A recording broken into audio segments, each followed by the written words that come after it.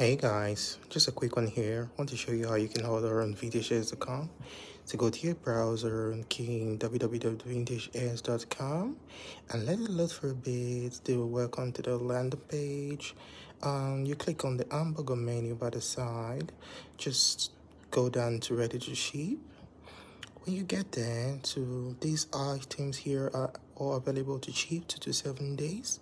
So just pick anyone you want ensure that it is matching the length you want. So go through it read the description make sure that it's the eh, length you want and the color and the size. You can add to cart immediately or pay via paypal.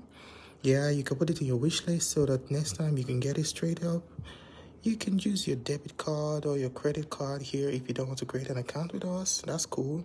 You can do it through PayPal. Then when you add to cart, you check out your card, you go to view cart to ensure that everything is right where you want it to be inside your cart you can see the quantity the price. You can increase your quantity or you can apply a coupon code if you have any coupon codes.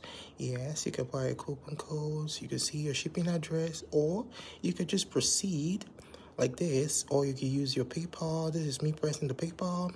Nah we're not using paypal. You can just enter your debit or your credit card. If you don't want to create an account with us that's cool. Just key in your information and you continue and you'll be directed to the payment gateway. If you're not doing that you could just go to checkout proceed to checkout where you will have to register an account with us fill in your username your email your password and i'm just gonna fill a dummy username and password here so that i'll just register so you see what we're gonna use. So it's simple just pick a username enter your registered email address. So I'm just gonna enter um something let's say Kelvin Young Love at gmail.com. Um just pick a password, something that's easy to know. Yes, you want to receive updates, of course. Then you register. So after registration, um yeah, you can apply a coupon code if you have one. If you don't, you proceed. You go to your billing address, you in your name, your last name, you pick your country, wherever you are yes you pick your country. And then you key your country in your states your street address. Yeah.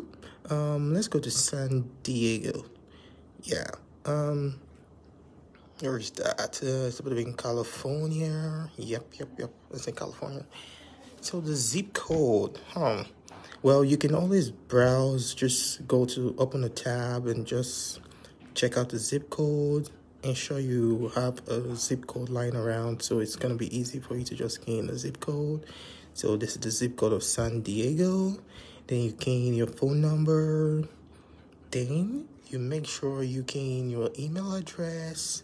Then you press proceed. So this takes you to a summary of all your orders and just gives you a breakdown of the payment method to use. You can use your Stripe, you can use Rave, you can use um, your PayPal. So depending on your preference, so just press place order and it's going to give you this beautiful summary. So you can cancel from here or you can go back to wherever you want to go back to restore or you can just proceed to make payment and the payment gateway opens.